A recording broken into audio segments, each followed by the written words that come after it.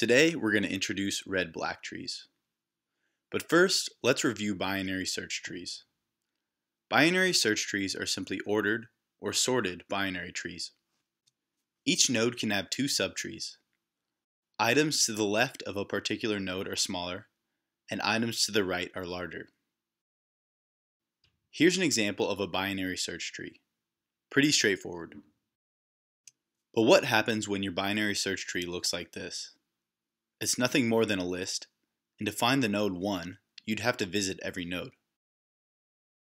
The answer to this problem is balanced search trees.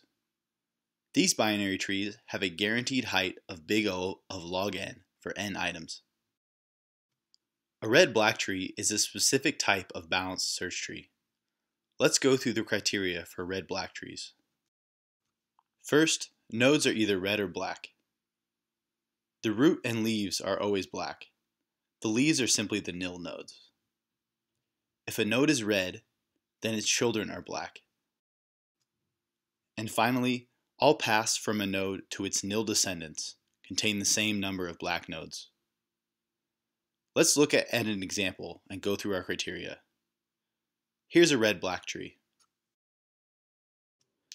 As you can see, all nodes are red or black.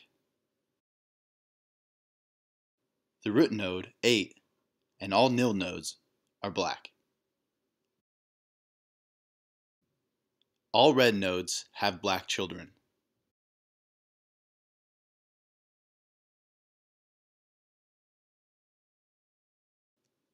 Lastly, all paths from a given node to its nil descendants contain the same number of black nodes. Let's use the root as our given node. We see that all simple paths to nil nodes contain two black nodes. One note here, when counting the black nodes in our path, we don't count the starting node. We call this number 2 the black height of the red-black tree. That is, the number of black nodes from the root to the nil nodes, not counting the root itself. In fact, each node has its own black height. A few notes before we finish. Nodes require one storage bit to keep track of color. Second, the longest path, that is, the path from the root to the farthest nil, is no more than twice as long as the shortest path which is the path from root to the nearest nil. In other words, the shortest path has all black nodes, and the longest path alternates between red and black. This is because of the constraints we defined earlier.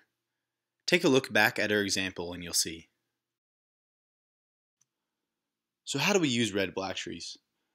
Just like any other binary search tree, there are three main operations. Search, insert, and remove.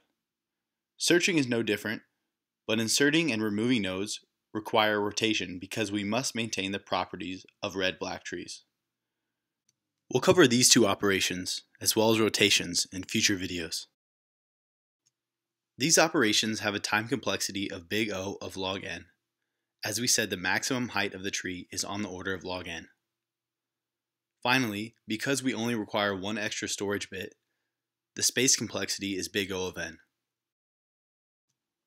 Thank you for watching.